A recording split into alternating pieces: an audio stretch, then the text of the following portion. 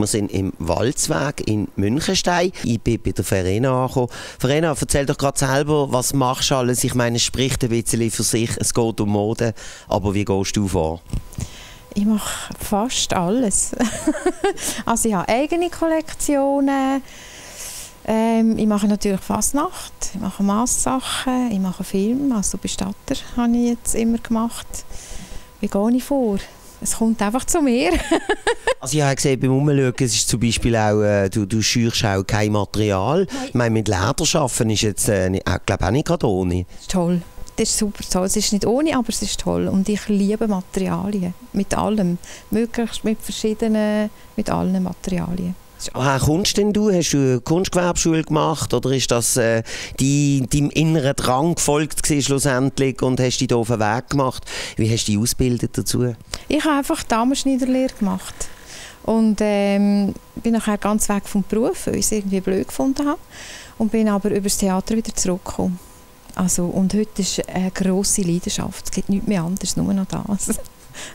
Wann kommt man denn im Speziellen zu dir? Hast du jetzt auch viele Leute, die, sag mal, wenn man ein bisschen Probleme hat mit der Figur oder so, gibt es das immer wieder einmal, dass man wirklich sagt, äh, ich muss jetzt maßgeschneidert haben? Kommt man dann vor allem auch, weil man dann etwas auch ein bisschen exaltiertes möchte? Ja, weil man einfach ein Einzelstück will und etwas, das halt genau auf die Person gemacht ist und auch für bestimmte Anlässe, also Feste, Partys, ähm, ja.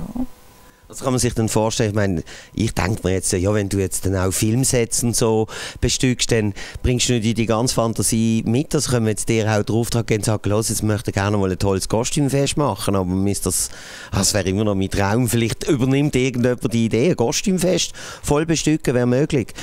Ja, sicher, das ist möglich. Es gibt keine Grenzen, es ist alles möglich.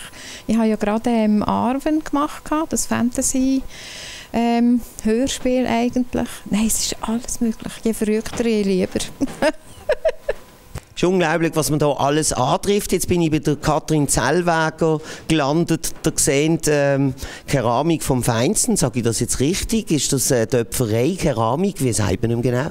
Also dieser Technik sagt man Majolika oder Fayence. Jetzt muss man aber gerade weiterhelfen und hat den Zuschauer, wie unterscheidet sich und was ist das? Also in der Töpferei schafft man vor allem mit Glasuren und, und äh, vielleicht eher eben so Schüsselgeschichten. Ich mache figürliche Sachen. Äh, die Majolika-Tradition ist sehr alt. Die ist aus dem 15. Jahrhundert. Der Bernard Palissy hat die eigentlich ähm, ins Leben gerufen und später haben dann Schüler von ihm das weitergeführt und, und jeder hat dann wieder neu Glasuren finden, die da gegangen sind. Ursprünglich ist es so, dass die Farbgebung, also die Malerei, mit der Glasur stattgefunden hat.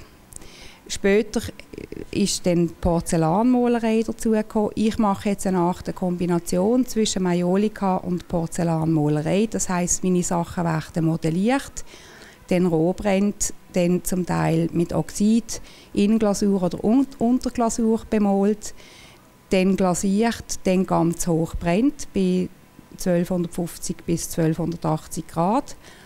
Und dann gehe ich mit Porzellanmalfarbe drauf und dann gibt es noch einmal drei bis vier Brände, bis die Arbeit fertig ist.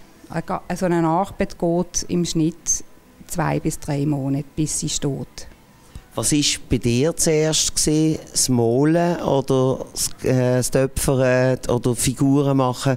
Was ist zuerst vom künstlerischen Teil? Ich komme eigentlich aus der Malerei und habe dann mich mit dem Atelier verkleinern und habe kleinere Formate äh, gesucht, eine neue Technik gesucht und bin dann in Porzellanmalerei ich habe hier auch äh, meine Dokumentationen, wo eben zuerst zeigen, dass ich auf Teller gemalt habe, gekaufte Teller, Porzellanteller. Und das hat mich dann ein bisschen langweilen und habe gefunden, ich muss selber die Form finden und habe dann äh, mich also auch gekommen und ausgebildet in diversen Kursen in der Keramik äh, und im Brennen. Also ich brenne hier auch in diesem Ofen. Und äh, ja, so bin ich eigentlich zur Majolika gekommen. Und vielleicht habt auch ihr jetzt noch etwas Schmucks gesehen, das eurem Geschmack entspricht. Also kommt vorbei und mir natürlich ein bisschen Gas geben, sonst hätte es vor der Weihnacht auch hier nichts mehr.